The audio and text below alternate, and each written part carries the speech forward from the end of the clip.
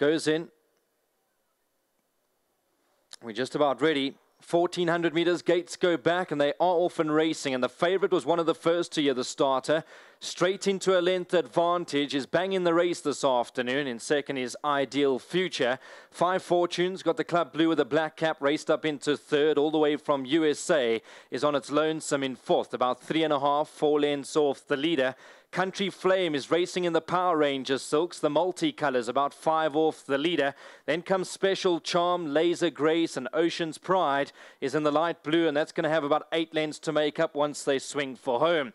So in front is Divine Dynasty, uncontested leader. It's a one-length advantage over here. Ideal Future is there in second. Racing away in third is Country Flame. Five Fortunes, always been in a good position. Raced up with the Club Blue and the Black Cap all the way from USA. Then comes Special Charm, Ocean's Pride, and Laser Grace is now 10 lengths off the leader. So Divine Dynasty, now been asked for a bit more, gets away by length. Five Fortunes, hot on the heels in second. Ideal Future all the way from USA and Country Flame is smack bang in the center, but Divine Dynasty still under the hands, hasn't been asked any questions just yet. He's still in a good rhythm, has shot away by two or three lengths. Ideal Futures in second, then comes Country Flame in third, but Divine Dynasty going like a Boeing out here, and Divine Dynasty in a galloping mood to win a good race. Divine Dynasty, Ideal Future in second, Country Flame has run third, and back in fourth was Five Fortunes.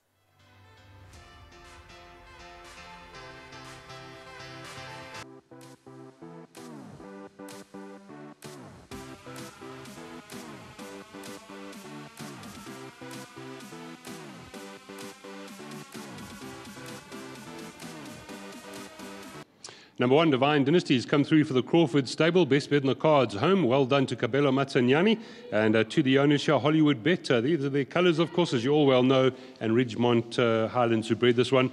Kabelo, firstly, well done on this one. Well done yesterday. You had a good day in Zimbabwe as well. And uh, take us through this one. Nice one.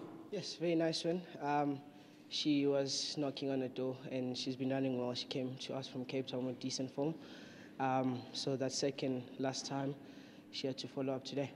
Yeah, all she had to do is just reproduce her form, and that's you know, and you took her to the front. Uh, I'm sure that was the plan there. Best horse, go to the front and win. Well, that wasn't the plan. Um, we would have appreciated um, allowed one over, but um, looking at the race, there was no speed, and I mean she had to fly out the gates, and I just had to dictate and ride her confident. Yeah, well done to you. It's a good way to start off the day, and of course, uh, your stable winning the big one yesterday as well. Yes, um, Zapatilis won a very impressive race yesterday.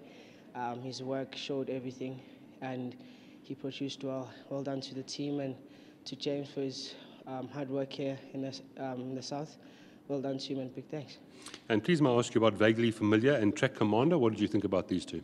Vega Familia, um, she's got blinkers on today um, over the 2-6, so hopefully she can find some gears with that. And um, Captain... Track Commander, yeah, Cap Captain, I'll ask James. Captain, um, first run here, um, over a mile, just giving him a prep run and see how he goes. And then uh, track command in the last, maybe a quartet chance? Yes, um, from his last run, he's a horse that if he's well on himself and um, he gets the race his way, he can run on to be in the quartet. Thanks very much. Well done. Thank you. And once again, Hollywood Bet Syndicate, well done to them and to my sponsors winning form. Kabelo, well done. Thank you. Kabelo Matsunyane, certainly a man on the up as well. James, uh, speaking of men on the up, well done yesterday. Uh, how does that feel? Oh, thank you so much. No, it, it feels amazing. Uh, my first uh, official Group 2 in the books. Uh, well done. Couldn't be happier. Well done to the whole team. And uh, this one here in the Hollywood colours, a nice one.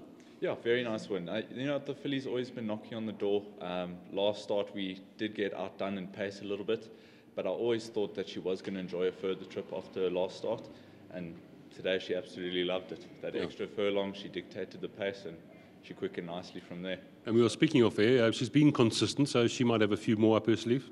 Yeah, I think she can definitely get another one or two under the belt for sure. Good, and then if I, uh, yes, sorry. Big well done to uh, Ridgemont for breeding her, and to Hollywood, and to Anthony. Thank you so much. And if I may please ask you about Captain, I heard Kabelo, uh, first run here.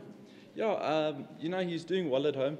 I'm very happy with his progression, but he may just need the outing, and I think 10, for, 10 furlong may be a little bit too far first time out, but he's doing well, and I'm expecting him to run a good race. Well done on this one and well done yesterday. Thank you so much. Well done, James. There we go. James and Brett Crawford. What a day they've had yesterday. It's a good start today as well. Divine Dynasty has come home for the punters here. The numbers you need for race number three, one, six, three, and five. Up next, race four and jackpot one.